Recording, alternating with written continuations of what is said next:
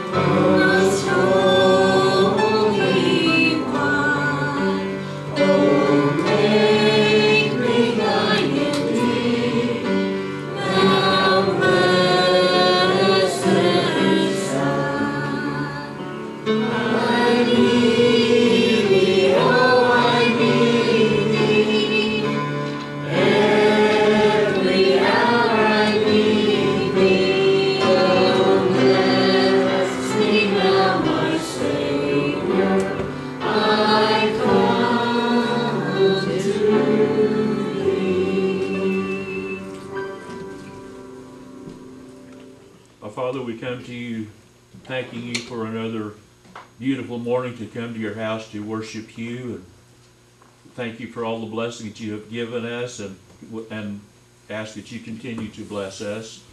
But ask that you be with those who are sick and in the hospitals and just are, are hurting and give them the strength and comfort they need. And we'd ask that you be with those who were elected this, this past week and help them lead in a way that will be pleasing unto you. In Christ's name we pray. Amen. Our next hymn before the message is My Jesus, I Love Thee on page 79. We'll do verses 1 and 4. 2 times 3. 79.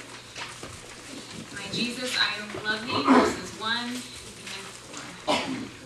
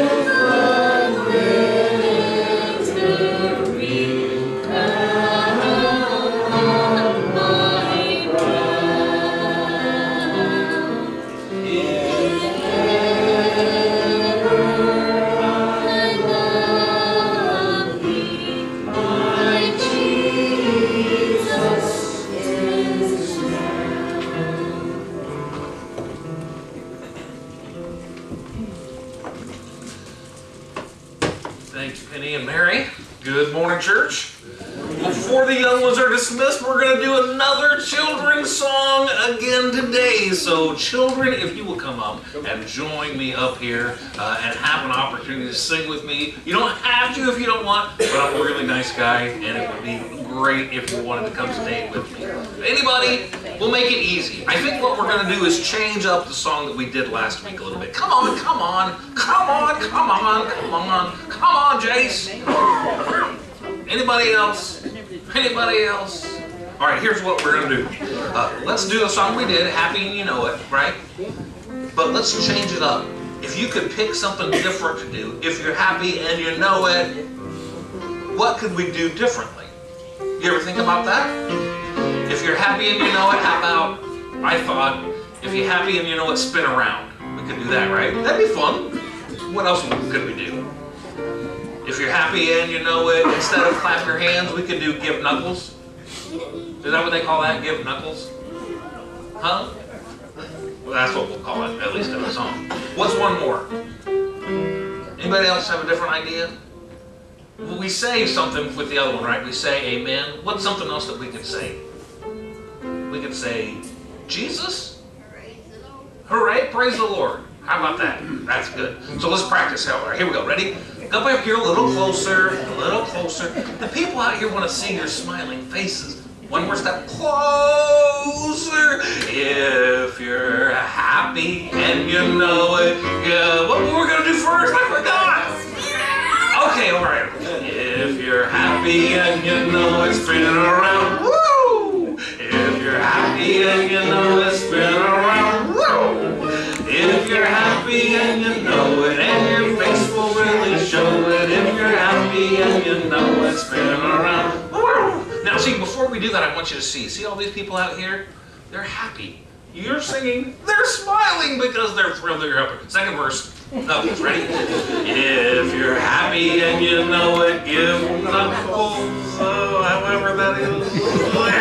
If you're happy and you know it, give them uh, If you're happy and you know it, then your face will surely show. If you're happy and you know it, give them you're happy and you know it, say praise the Lord. Praise the Lord. If you're happy and you know it, say praise the Lord. Praise the Lord. If you're happy and you know, then your face will surely show it. If you're happy and you know it, say praise the Lord. Praise the Lord. All three, can we do all three at once? If you're happy and you know it, do all three. Whee!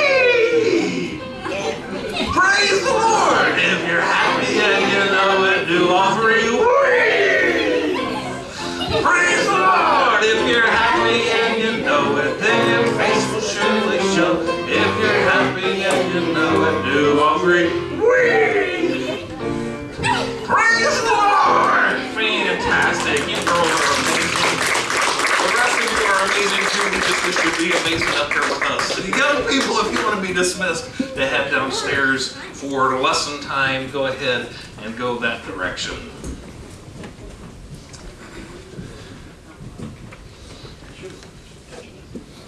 All right, where in the world are we? Whee! Oh, okay. I need to add that to a lot of more songs uh, that we sing on Sunday morning. Thank you for getting them revved up too. Yo, you're welcome, Greg. There's some coffee down there too. I think you can share with them a little bit if you need.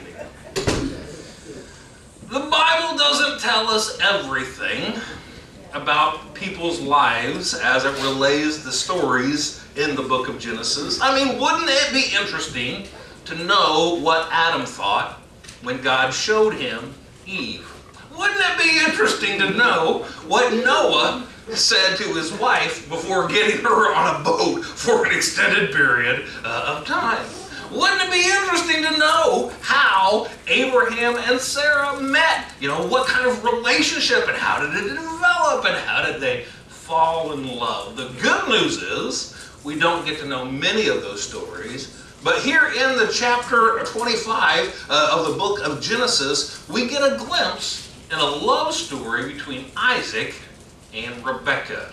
So if you have your Bibles and want to head that direction, uh, Genesis chapter 25. It's an interesting chapter because the length of this chapter would show us literally, uh, literarily, I guess is the right word to use there, that this was an important one. There's there's 67 verses in this chapter. There's a lot of details in this story. And so the writer of Genesis, Moses, as he gives us this story, he gives us these details to tell us a little bit about the importance of this story. Here we have Isaac, the child of the promise, the child who had been waited for for hundreds of years, well, hundred, for a long time, uh, choosing a wife, the progression, the next generation to the story. And that's why it comes together this way. Maybe an interesting uh, consideration as we get started here is how did you get together with your spouse? Uh, with the people uh, that you love in your life. What story is there with that? It's no coincidence, of course, the way that God works, uh, that we celebrated 28 years together. Uh, this week I bought Penny flowers because I missed a few other opportunities to do that and knew I needed uh, a few extra points. But 28 years ago on Tuesday, uh, we went on our first date. Now, it wasn't the first time that we had met because that was on my birthday, my golden birthday, when the Eagles were on Monday Night Football, and Dad was in the hospital. But there's a lot of other details that are part of that story that maybe uh, you can hear at some point uh, in some way. But an opportunity to celebrate the time of being together. How did you meet? Maybe it's a good story to tell your kids uh, have an opportunity when everybody gets together to relive those things. I, I, remember Dad telling us a story about how and Mom, he and Mom met, uh, and there was a whole lot to do about 4-H camp. And then Dad makes a list about what he wanted with the certain girls who were part of his life, and he was going through the list, checking them off uh, to figure out which one was the right one uh, for him in that way. How did you meet? What importance does it play in the relationship that you're in? For Isaac and Rebekah, the interesting part of the story as we're going to read today is God intervenes in this story. Uh, did God have a hand in you getting together? Now, don't blame him. All right. But the good news that we want you to consider is God knew and He knows and He has a plan for your life. And so the consideration of who you are with, uh, your future is already written with Him. And maybe you worry about that. Did God really have a play in who I ended up marrying and who my family is? The good news is, church, that God has you where He wants you and He's positioning you to grow in your faith. Some people may hear this story and they ask the question, Do you have the one? Here's what I want to tell you. If your spouse is the one that you have, then you have the one. Okay? Real simply put that way. God loves marriage and He ordained it as a very special institution, a very important covenant that people have to help make the, uh, not just make a stable society, but also to provide comfort and love for one another in that way. Consider that as we read this story, Genesis chapter 24, uh, verses 1, and we're going to read a big part of this story through verse 21 uh, here together. Genesis 24, the Bible says this Abraham was now old and well advanced in years, and the Lord had blessed him in every way. He said to the chief servant in his household, the one in charge of all that he had, Put your hand under my thigh. I want to swear by the Lord, the God of heaven, the God of earth, that you will not get a wife for my son from among the daughters of the Canaanites among whom I am living, but will go to my country and my own relatives and get a wife for my son Isaac. The servant asked him, What if the woman is unwilling to come back with me from this land? Shall I take your son back to the country you came from? Make sure that you do not take my son back there, Abraham said. The Lord, the God of heaven, who brought me out of my father's household in my native land, and who spoke to me and promised me an oath, saying, To your offspring I will give this land. He will send his angel before you, so that you can get a wife for my son from there. If the woman is unwilling to come back with you, then you will be released from this oath of mine. Only don't take my son back there. So the servant put his hand under the thigh of his master Abraham and swore an oath to him concerning this matter. The servant took ten of his master's camels and left taking with him all kinds of good things from his master. And he set out from, for Aram Naharaim and made the way to the town of Nahor. He had the camels near down near the well outside of town. It was toward the evening, the time that women would go out to draw water. Then he prayed. O Lord God of my master Abraham, give me success today and show kindness to my master Abraham. See, I am standing beside this spring, and the daughters of the townspeople are coming out to draw water. May it be that when I say to a girl, Please let down your jar that I may have a drink, and she says, Drink, I'll water your camels too. Let her be the one that you have chosen for your servant Isaac. By this I'll know that you have shown kindness to my master. Before he had finished praying, Rebekah came out with her jar on her shoulder. She was the daughter of Bethuel, son of Milcah, who was the wife of Abraham's brother Nahor. The God was very beautiful, a virgin. No man had ever lain with her. She went down to the spring, filled her jar, and came up again. The servant hurried to meet her and said, Please give me a little water from your jar. Drink, my lord, she said, and quickly lowered the jar to her hands and gave him a drink. After she had given him a drink, she said, I'll draw water for your camels too, until they finish drinking. So she quickly emptied her jar into the trough, ran back to the well to draw more water, and drew enough for all of his camels. Without saying a word, the man watched her closely to learn whether or not the Lord had made his journey successful. What does it take to pick a wife? Uh, so the story is kind of interesting. Remember, Abraham is in a foreign land. God called him to leave his native home and to go to a new land that he was going to establish, the promised land. Abraham is there and finally has a child, and now his child needs a wife, but he makes a few decisions there, right? He says, Don't get a wife from among the people that we live here. Go back and get a wife from the people who we're related to and bring her to me. Abraham was old, he wasn't going to make the travel. It's interesting, a few things that he says here, and we'll highlight them as we go. He sent the servant to go and he didn't send Isaac to go along this journey uh, an interesting note to kind of point out that the servant was going to have to do the work and do the choosing and bring back this woman to be married to his son. And so as the story goes along, the servant gets there and then he, he gets ready to approach the visit and he realizes that he doesn't have a plan. Uh-oh, what am I going to do? And so he comes up with the best plan he probably could have, which was what? To say a prayer. And in that prayer, he asks God to give him a sign. If I go to a woman and she offers me a drink, and then I turn and she then offers to, uh, to water my camels as well, that will be the one that I know is the one I should see. The way that the Bible tells the story, as soon as Rebecca comes out, it seems as if the servant's like, oh, I bet that's the one. And that's how he approaches her and starts the conversation in the first place. And sure enough, Rebecca takes care of him, offers to take care of his camels. He brings out some of the gifts that he has and starts a conversation about who she is and what his intentions are. They meet with the family, and the rest of the story is there in the rest of the part of the chapter. Uh, and they make, begin making plans on taking Rebecca back to Abraham uh, and Isaac so that she then uh, can be married. Uh, an interesting story in the light of how God chooses who uh, the, this person has a chance to marry. And, and, you can read through a lot of the details here. Uh, they pick a person who wants to not just take care of him, but also water the camels. We read earlier that he sent 10 camels uh, down with his servant there uh, on to be on this trip. Someone made note in, the, in my studies that uh, a camel can drink up to 30 gallons of water if they're thirsty.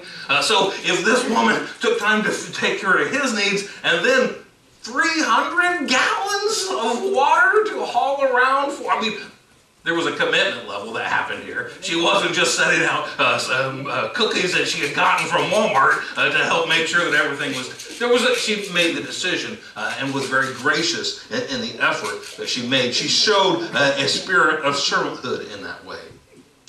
So we get to this point. Oh, the ten camel test. Yeah, uh, came across that. I thought it was interesting. What about you? Did God give you a sign? And sometimes we hear this story and we're like, uh oh, I don't remember God giving me a sign and choosing the one. Don't stress it. Don't miss the main point. We'll get to the main point in a moment. But as we do that, I want to uh, make notice of a few points that Abraham tells his servant with this. If you have your Bible still open, uh, let's look at a couple of the things that Abraham tells his servant. The first thing that he tells his servant to do is there in verse 3. He says, Swear by the Lord God of heaven and earth that you will not get a wife for my son from among the daughters of the Canaanites in whom I'm living. We got a problem. Time to choose a wife. And the dad looks to the people who are closest to him and is like, none of these girls are going to do. Interesting to note. Maybe you want to ask yourself, well, why? What is it about the Canaanites that made Abraham make such a statement like this, where he would send his servant all the way back to the land where he was from to choose a wife? We are known, uh, the Canaanites are known historically uh, and from every evidence that has been found from them that to be very pagan people, horrible people, uh, worshippers of demons, very sexually perverse, very depraved people. You remember, these are the same people that God is getting rid of from this land as Abraham and his descendants have a chance to take the land. There's a point there where Abraham starts uh, uh, growing and conquering, and God says, Well, wait a minute, it's not time to get rid of the Canaanites. And then the story of Israel continues as they move down into Egypt, where they grow into a huge population and become slaves there in Egypt. And 400 years later, are taken out of Egypt and to brought to the promised land. And that's when Joshua begins conquering these evil people, the, the pagan Canaanites, for the way that they lived, or the way that they treated one another, the despicable things that they did. So this is a little precursor to all that. But Abraham was smart enough and wise enough to say, if we're going to pick a girl, it's not going to be one of these girls. These girls are not suited to be for my son. Then he also says in verse 6, if you have your Bibles there, be sure not to take my son with you to pick out a wife. I find that to be a little bit interesting. Why in the world would he not send Isaac to be, okay, we need to meet somebody. We need to see who has the spark. We need to give you the opportunity uh, to connect and find out who it is that you want to fall in love with. But that's not Abraham's idea at all. Why is that not? Maybe you have to consider the way that he says it. He said, Don't take my son uh, with you to go find a wife because that's not our land. That's not the promise that God has given to us. There's a chance that if Isaac goes back to find a wife, he'll be convinced to set up his place there in the old homeland, not in the promised land. And so he goes right back, Abraham says, It's the promised land. This is the place that we're going to be. So Isaac is not going to leave this place. And we're not going to send him off where he can be distracted and he can change the plans. God has given us this area, so do not take Isaac with you in that way. A couple other things that he says is, You're not going to do this on your own, verse 7. The Lord, the God of heaven, who brought me out of the, my father's household in my native land, and who spoke to me and promised on an oath, saying, To your offspring I will give you this land, he will send his angel before you so that you can get a wife for my son from there. Abraham very wisely said, I'm not just sending you, servant, to go do this. God's going with you. Don't sweat it. How are you going to pick a needle out of a haystack? How are you going to pick one woman uh, from a whole group, a, a whole society of people? God's going to be with you, and He's going to send His angel to guide you. That had to be reassuring, and that brought us along with the story. And, and then there's a little point there where the servant has a chance to respond, and he says, uh, Well, wait a minute, I, there's only one problem, Abraham. Uh, you are this great and powerful man, and you've given me this task to go and pick this wife for your son. What if I get all the way over there and can't find anybody? And Abraham very wisely says, it's okay if you come back empty handed. It's okay if you find somebody and they tell you no. You see, and when we put all of these stories together and the principles that Abraham gives his servant, God doesn't always do what we want. Uh, that would make us God. Instead, God uses His power to work on His plan. And sometimes we need to wait. And Abraham understood that finally. And so he gave his servant the reassurance if all else fails, it's okay. God's got this taken care of. These are good principles for those who are preparing for marriage, but also for us to instill upon those who plan to marry, to share with the next generation. And for those of you who are already stuck uh, with your spouses, uh, just kidding. Uh, there are still a few principles that I think that you need to hear from this love story of Isaac and Rebekah. The first is very obvious meet and marry a Christian. One of the other reasons that church is important is because this place, these are the people that you find to spend your life with. It's important that you uh, believe and learn to believe with someone that you can fall in love with uh, because you can either be nurtured by your spouse, spouse and their faith or you, it can destroy you as you believe two different things. A Christian and a non-Christian believe different ideas. Yes, it's important that we marry people that we uh, love and that we're connected with. And if we're already in those situations, let the gospel teach them and share with them. But be careful about uniting yourself, becoming one with one who is fundamentally opposed to you. Do they serve God? Do they believe God? Do they honor God as Lord? If they don't, and you do, and your children do as they're choosing spouses, you've got a problem. Abraham knows that, and that's why he gives us directive. One of the things that I pray for my kids very often, uh, every day, every week, is that they will be blessed by having a believing family, a believing spouse, with believing kids. Those things are what's important. That's what helps hold a, a family together. That's what gives them love in that way. Important, uh, what Abraham knew that he shared with them. The second thing that he says is don't neglect God's promises once you found someone. Abraham knew the promise of God. God said he was going to give him, make him a nation, give him a land, and bless him. And Abraham, at this point in his life, wasn't willing to let go of those promises. And so I think the principle stands with us as well. Know what God has given you. Feed on the promises that he has given to you. Don't neglect the truth of salvation. Uh, don't misunderstand the brevity of life on this earth. Don't forget the eternalness uh, of eternity. God's promise provides hope for this life. That's why we have a chance to read the scripture. That's why we have a chance to worship Him. Because He has given us such great promises. But sometimes when we get into relationships, we want to discard the promises of God and be and lose focus on the things that are really important in life. Abraham here said, No, no, no, no. The promise is what's important promise of what God has done and will do for you is what is important. Hold on to it. The person that you marry is still not number one in your life. God should be. That person should be number two. And a distant number three for following that. But still, God needs to still be number one. The promise that He gives to you is still so real. He is the one who provides your eternal salvation, not your spouse. He is the one who provides hope for your future, not the people that we love around us every day. Don't neglect God's promises once you find someone. And pray for your spouse. It's the second most important decision that you'll ever make in your life. Who are you are going to find for to have companionship with? Who you are going to give your heart to? Who you are going to make people with? It matters. So pray for that person, and don't just pray for your spouse before God blesses you with one, but double down and pray for them after they said yes. Support your spouse, love your spouse, praying for them specifically establishes both support and love in that way.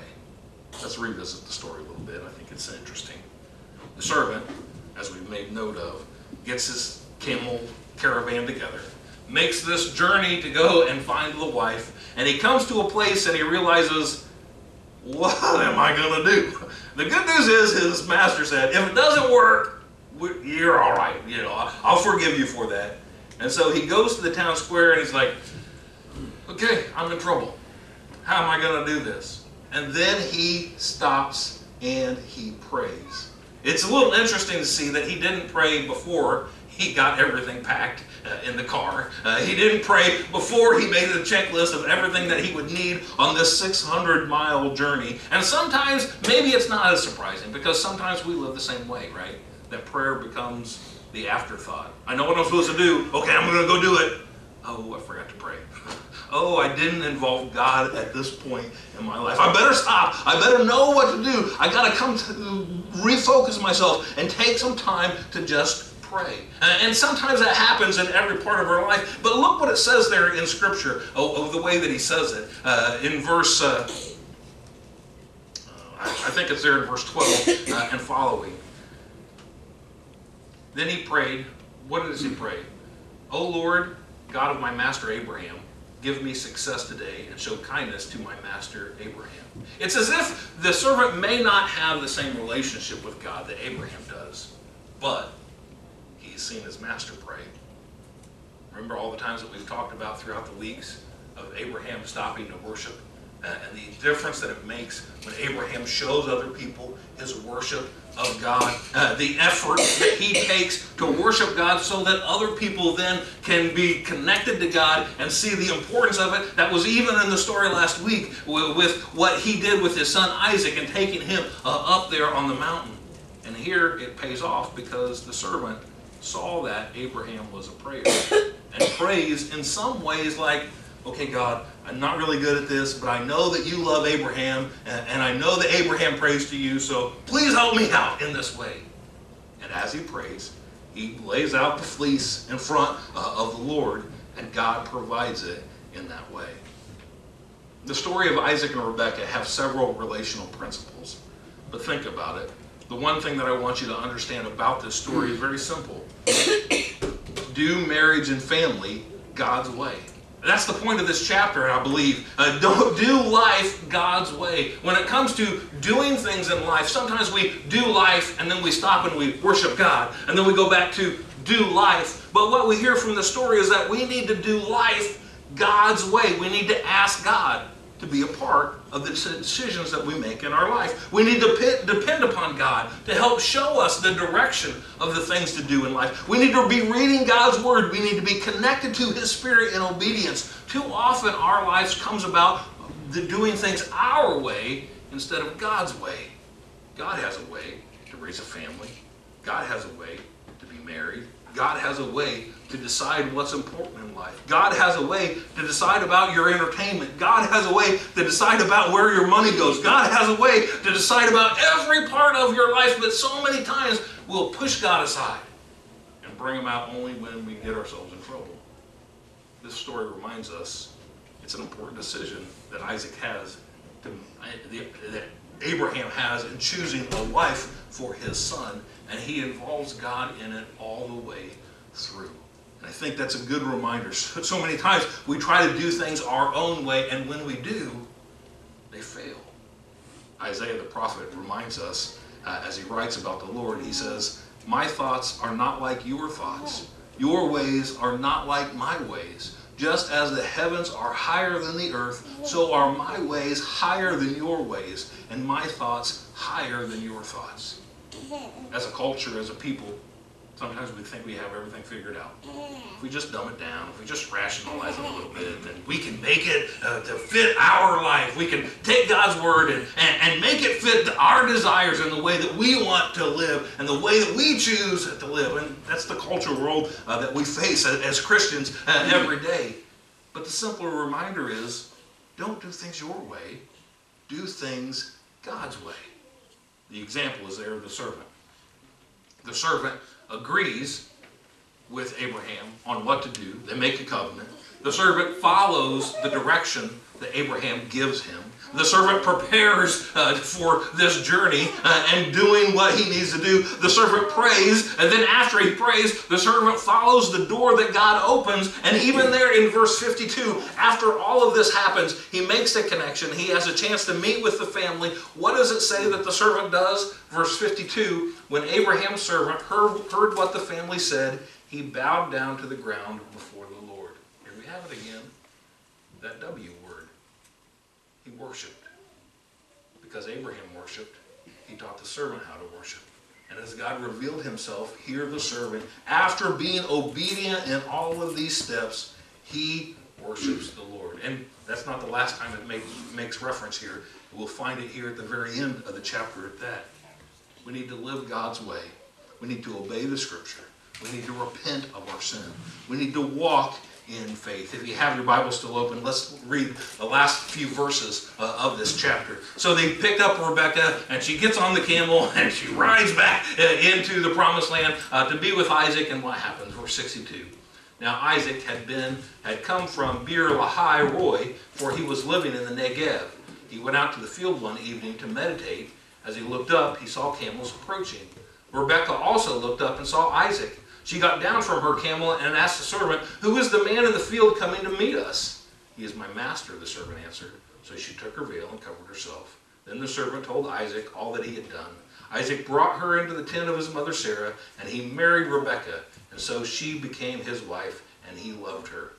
And Isaac was comforted after his mother's death. It's a love story.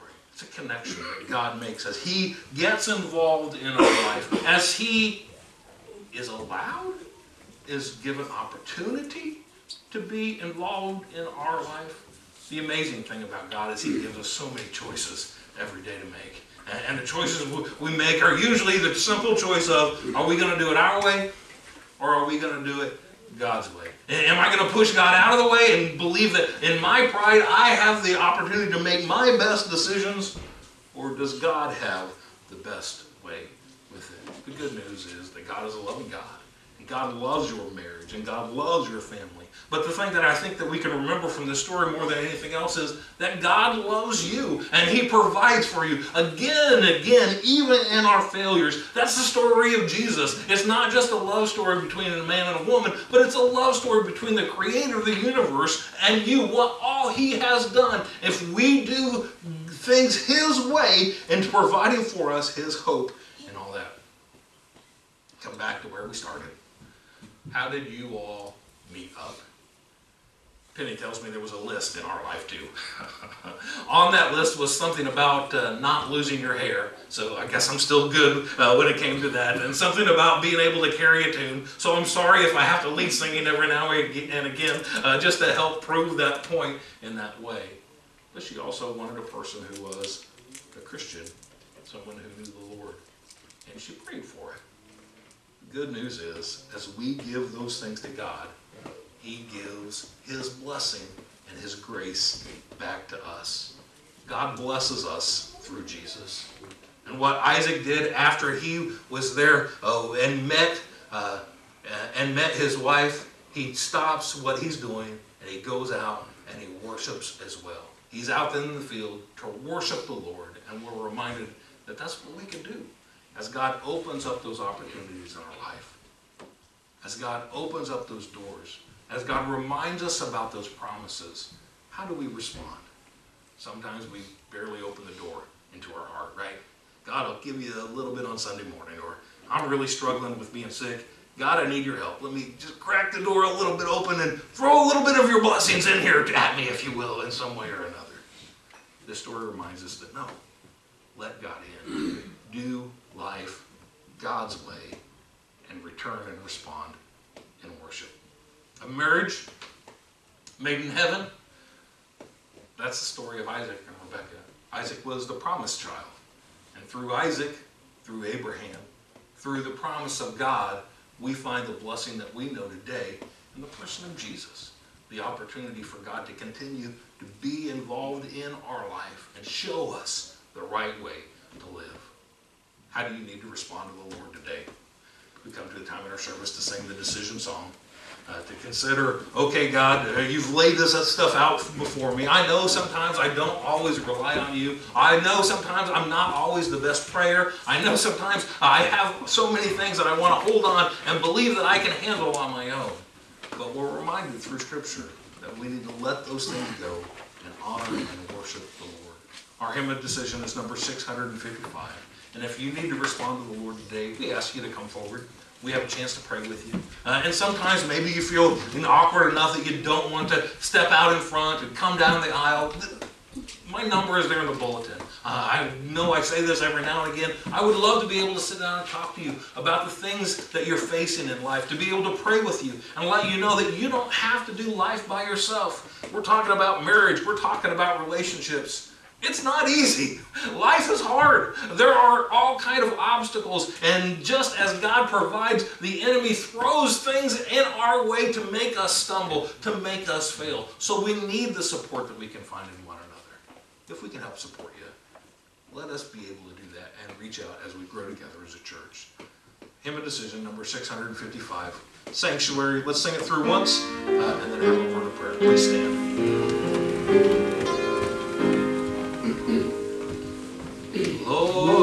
Prepare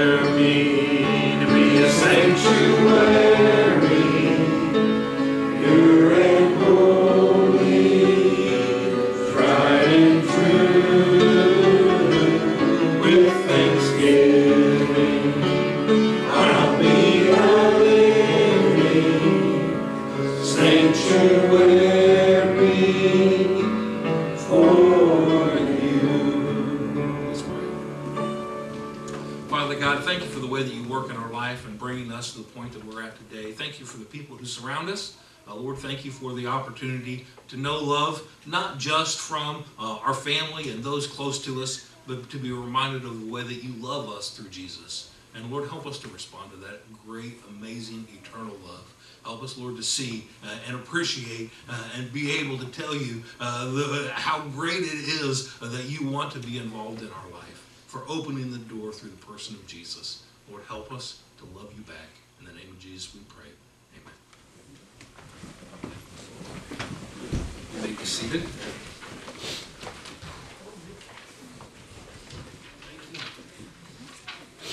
We'll continue on then with our worship time with They'll Know We Are Christians by Our Love. 429. Let's do 1, 2, and 4.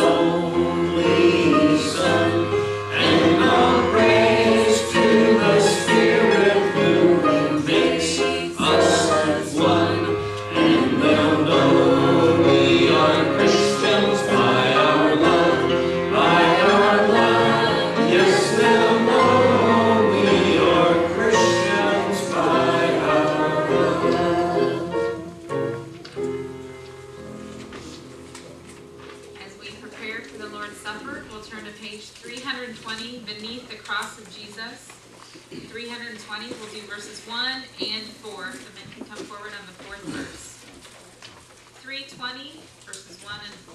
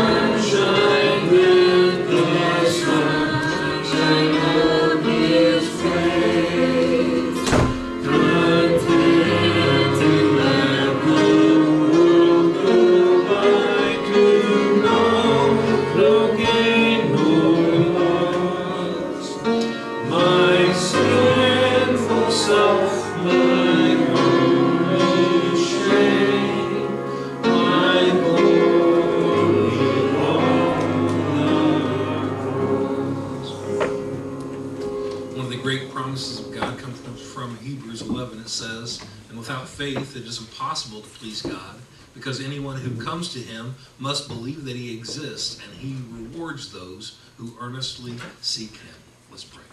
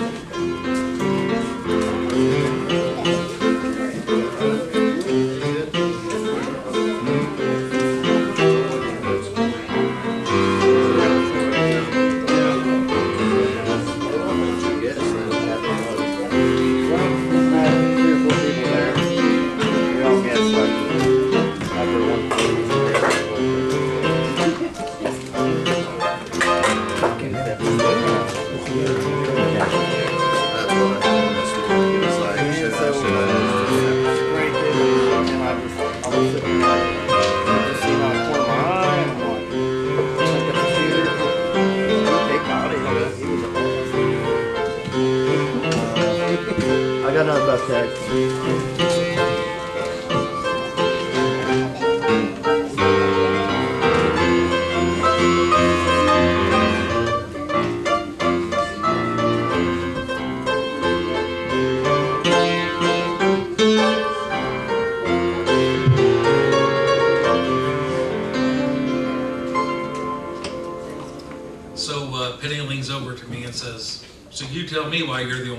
Who still has hair.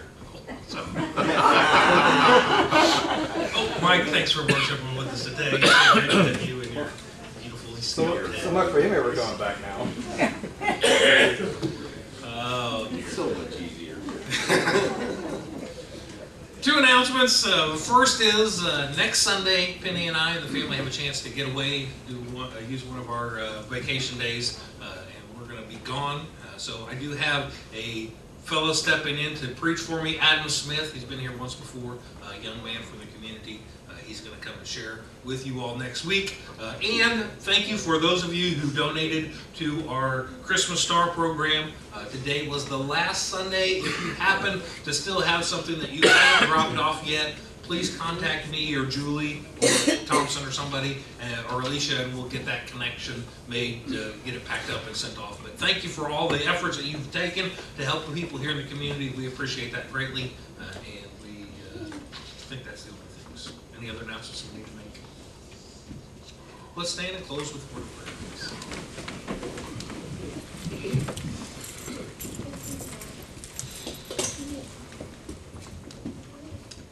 God, the day is wonderful because we know that you're in it. Same with our lives. Thank you, Lord, for the way that you intervene, that you involve us, that you take sometimes a messy life and, and make it beautiful. Uh, we thank you, Lord, for the way that your Spirit works within us, the way that it gives direction and guides us and shows us your truth. Uh, and Lord, we thank you so much for the provision that you give us just to know you through your Son, Jesus Christ. Thank you for giving us reason to worship. May worship be on our hearts today and this week as we go about our daily lives. We pray, Lord, for our families. We pray, Lord, for those who are not able to be with us this morning. Uh, thank you for the blessing of knowing them uh, and loving them as well. Help us, Lord, to stand as your church in truth.